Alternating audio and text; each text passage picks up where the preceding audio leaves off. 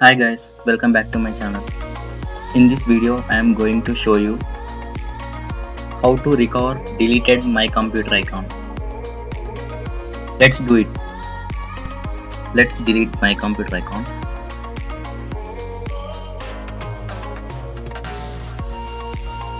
Now open recycle bin and check for it.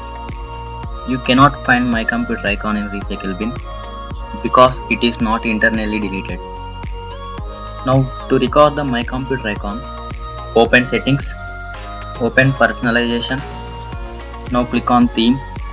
Now in the related settings, click on desktop icon settings. Then desktop icon settings window will open. Now mark the box beside my computer. Then click on apply. Click on OK. Now close the settings window. That's it. Now you can see my computer icon in the desktop. If you like the video, hit like, share and subscribe.